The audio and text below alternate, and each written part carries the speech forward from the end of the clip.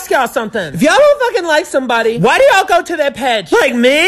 If I don't like a bitch, then I don't go to their page. Wanna know why? Because people don't post when they're doing bad. A bitch ain't posting, oh shit, I'm broke.